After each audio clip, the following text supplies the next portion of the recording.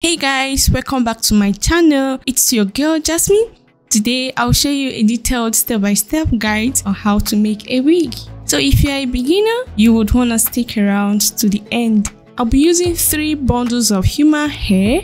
You can use synthetic or any brand of human hair depending on what you can afford or what you like. To begin, you need a closure.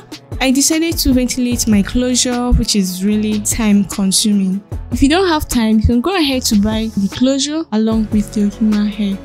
If you don't know how to ventilate, I'll be dropping a detailed video on it soon. So if you're interested, make sure to subscribe so that you won't miss out when I drop the video.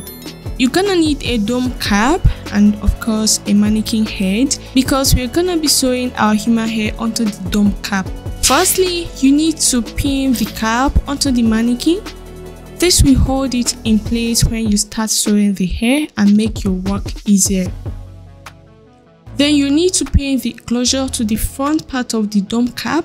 For that, I'll be using smaller pins. I'll also need to sew the closure onto the cap but before then, I'll pack the hair using ribbon so it will not get in the way when I start sewing.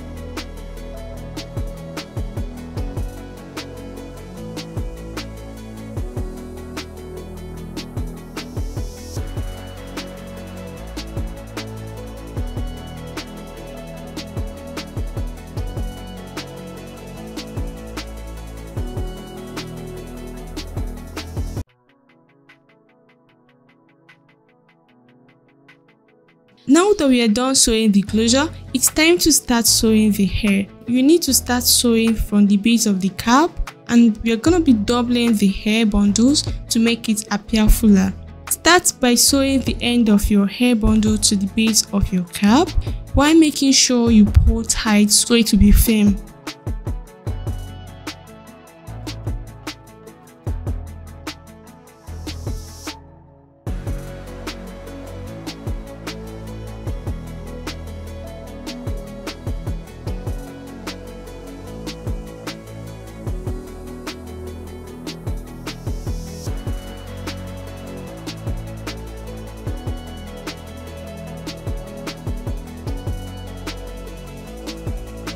Sew till you reach the other end of the cap and then flip the hair bundle over to continue sewing at a higher point. You need to repeat the same thing when you get to the other end of the cap and that is how you keep going until we get to the area around the closure.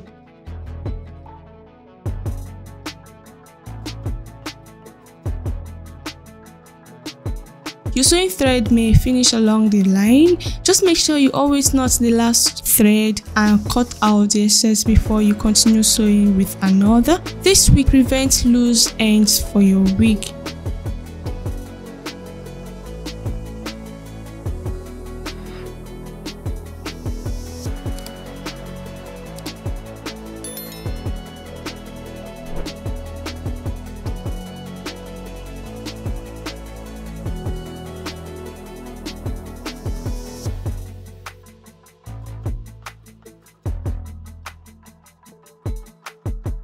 You realize that the hair has formed the round shape that looks like the closure.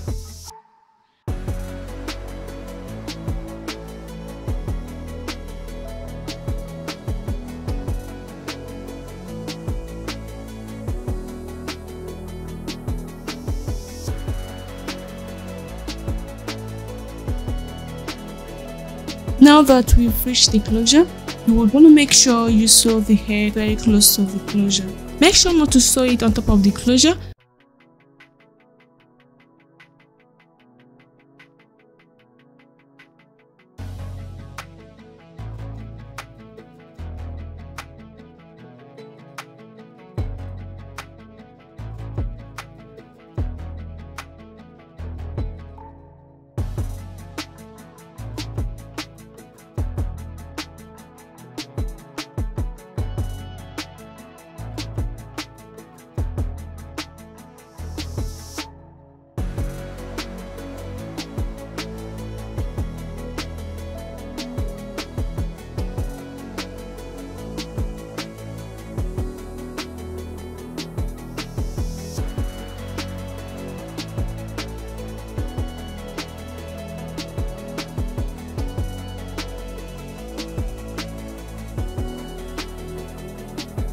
Once you get to the end of the cap, make sure to knot the thread, then cut out the excess hair.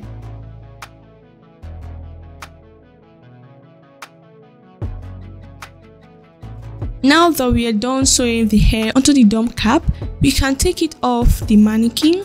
After that, I'll cut off the part of the dome cap directly beneath the closure. This will reflect the true color of the closure and give it a natural feel.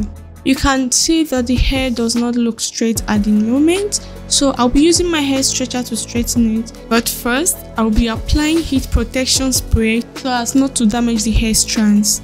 Now, I'll go ahead and stretch.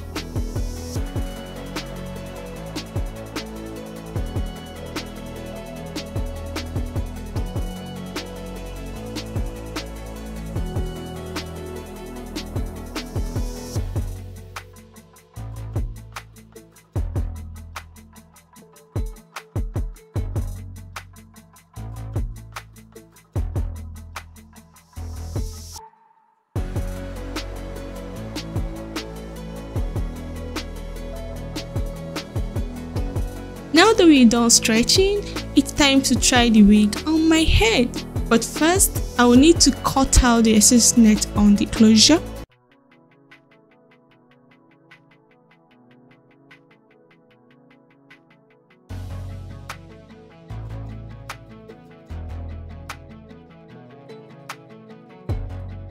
I'll go ahead and wear the wig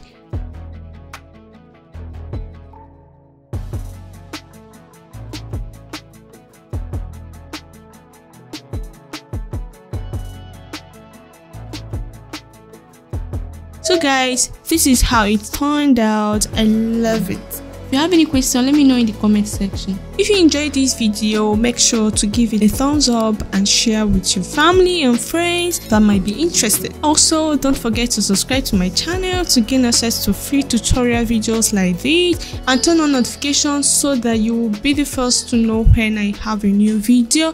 Thanks for watching. See you in another one.